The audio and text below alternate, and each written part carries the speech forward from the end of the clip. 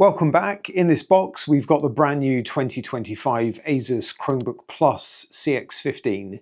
It's an entry-level to mid-range clamshell Chromebook with a 15.6-inch Full HD display. This is one of the first new Chromebook Plus models to feature the Intel Twin Lake Core 3 N355 processor, and it's got the updated Chromebook keyboard as we first saw on the Samsung Galaxy Chromebook Plus last year. I'll show you how much I paid at the end of this video. For now, let's get into the unboxing and take a look.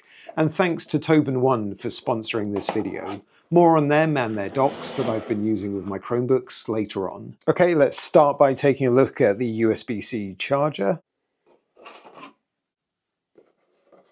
So we've got the UK power plug, of course. And then we've got that much smaller Asus style sort of puck charger. And we can see it is a 45 watt USB-C charger, and it's nice to see it in that smaller size that Asus supply on their Chromebooks. Let's get the Chromebook out itself and we'll get this box and packaging out of the way. Subscribers will know I wasn't the biggest fan of the older generation CX15's build quality. We'll check out for any keyboard flex in particular when we open this one up.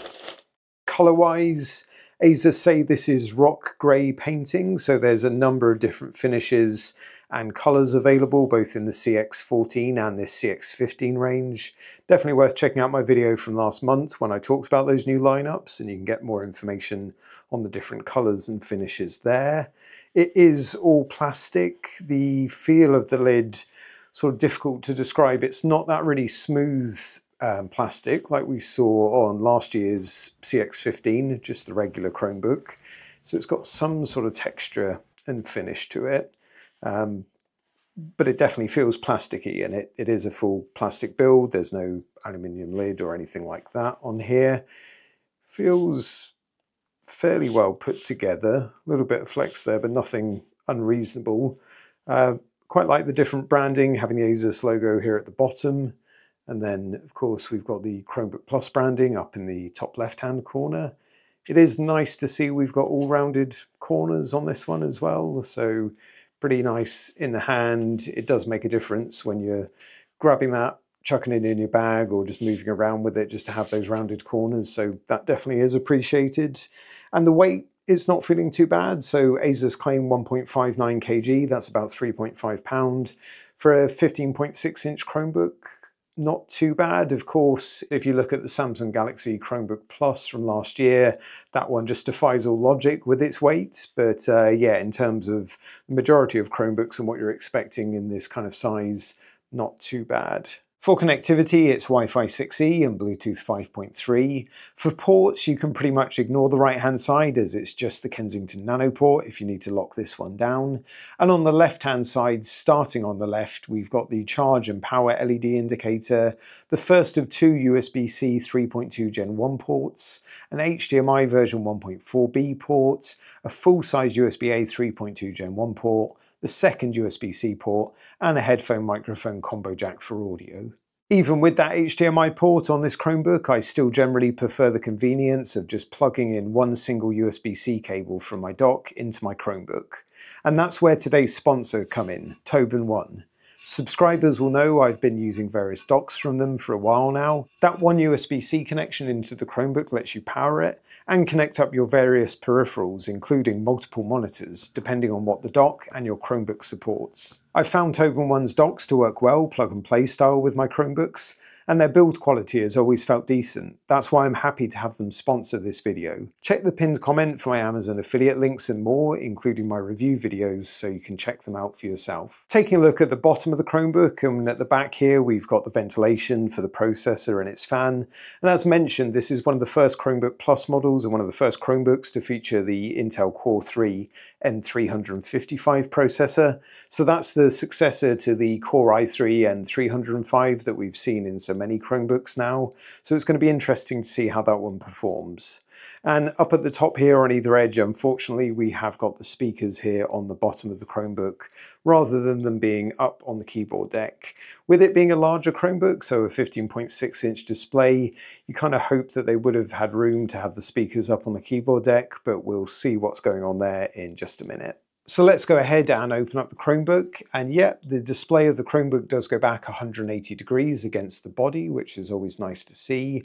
And then we've got this new full-size keyboard layout. So this new Chromebook keyboard layout was first seen on the Samsung Galaxy Chromebook Plus from last year.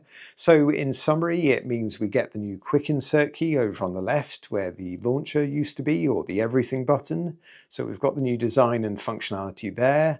The launcher moves to the bottom here, branded with the Google G, so that's the new home for the launcher. And then we've got some of the other keys like the uh, backlit keyboard keys up on the top row here, so it does look like this model will have the backlit keyboard. Jumping ahead a bit, here's a look at that backlit keyboard in action, and you can use the shortcut keys on the top row to turn it anywhere in between, so all the way down, and gradually getting brighter as we turn it all the way up. And we've got the new number pad design layout over on the right hand side. So again, exactly the same layout as we saw on the Samsung. One point to add on the keyboard layout though is that it doesn't look like we get that new accessibility key on the top row that we saw on the Samsung Galaxy Chromebook Plus. I guess some things unique to this one of interest. So it does look like we've got this smaller enter key in the UK, whereas we're used to the return key being that larger size combining with the key above. So it does look like they've broken that down in this case. Um, otherwise, the spacing of the keys all looks really nice and the key travel itself, let's take a look. So yeah, slightly deeper key travel on this one. Feels like it's probably going to be fairly nice to type on.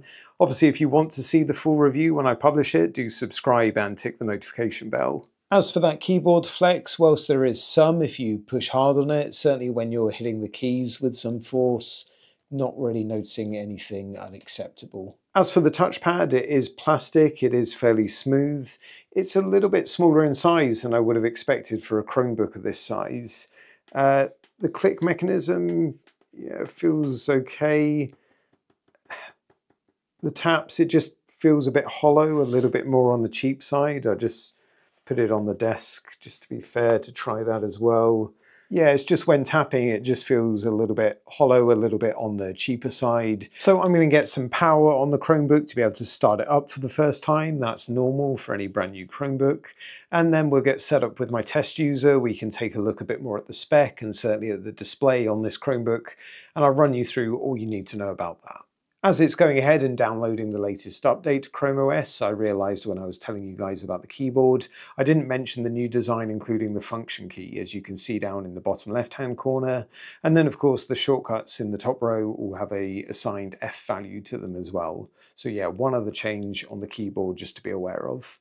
So set up in Chrome OS and things are looking good with my test user. Just to recap the main spec of this Chromebook Plus model. So it's got one of the new Intel Twin Lake processors that were launched back in Q1 this year.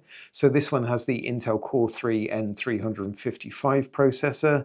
That's the successor to the fairly common Intel Core i3 N305 processor that we've seen in a lot of Chromebook Plus models up to now. So it claims a 6% boost in multi-threaded performance and about a 3% boost in single-threaded performance. So it's going to take a bit of use for me before the main review is published to see if I can really tell much of a difference in day-to-day -day use. One of the big changes though is that you're going to get updates to Chrome OS through to June 2035 with this new processor, compared to June 2033 with the older processor. I've also got 8GB of low power DDR5 RAM in this model. There are model options claiming to have up to 16GB, but we'll see how common those are. And for storage, I've got 256GB of storage, but unfortunately it is eMMC. It's certainly feeling snappy enough on initial use, but do subscribe if you want to see that full review. Software-wise, you're getting all the benefits of Chromebook Plus, including the baked-in AI like Help Me Read, as I'm showing you here. And you've also got the option to subscribe using the Chromebook perk for one year to the Google AI Premium plan, which I believe is now known as Google AI Pro. If you want to learn more about Chromebook Plus, do check out the video I published recently. I'll link that one in the top right for you now. Checking out the display, it's a 15.6 inch Full HD display, it's IPS and it's anti-glare. And it's in a 16 by 9 aspect ratio with a claimed 300 nits of brightness. Initially looking at it, I would have thought it was nearer the 250 level, but I perhaps need to get a bit more used to it. And color-wise, it covers 45% of the NTSC color space. The bezels, so they are noticeable but not too bad, and they claim a 87% screen to body ratio on this one. And at the top of the display, you'll find the Full HD webcam with privacy slider. It just feels like they could have made the slider easier to operate. Before we try out a bit of gaming, let's cover off the price. So I paid just shy of £400, that's about 540 US dollars for this, brand new.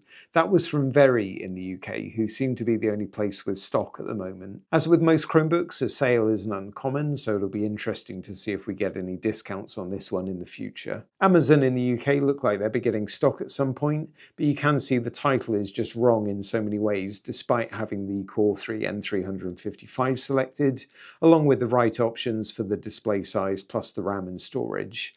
My Amazon affiliate links are in the pinned comment if you want to check them out in your region to see if stock is available. Testing out a bit of Real Racing 3 here and it's looking good. Do let me know in the comments though what you think of this one and do subscribe if you want to see the full review when I publish it. Ensure you've clicked on the bell to get notifications turned on as well. Check out the video on the left next if you do want to see the full lineup of Asus CX14 and CX15 Chromebooks and Chromebook Plus models for 2025. Otherwise, the video on the right is the YouTube algorithm's choice for you. Cheers.